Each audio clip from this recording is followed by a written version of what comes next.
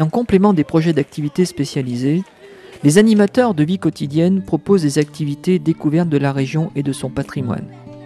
Formés sur place, ils